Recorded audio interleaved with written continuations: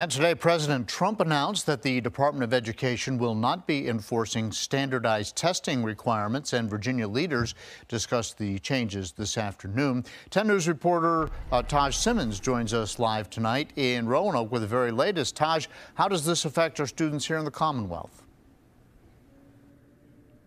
John, today's Department of Education meeting happened less than an hour after the federal uh, government came down with their announcement, so they couldn't really go into depth about what that means for us here in Roanoke.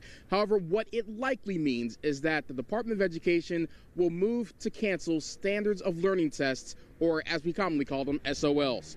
Board President Daniel Gecker said during today's call that the department will apply for a federal waiver from SOLs. Superintendent of Public Instruction James Lane added the department already had plans to work with state and federal governments to delay or cancel SOLs even before the federal announcement came down.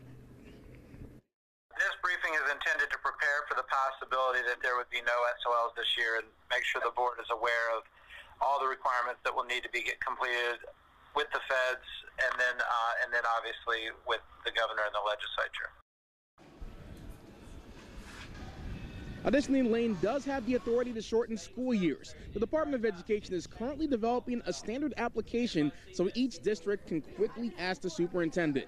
Additionally, the department has put together an answer sheet filled with the questions they've been getting most about their COVID 19 response. You can find out what they said on our website, WSLS.com. For now, reporting live in Roanoke, Taj Simmons. 10 News, working for you.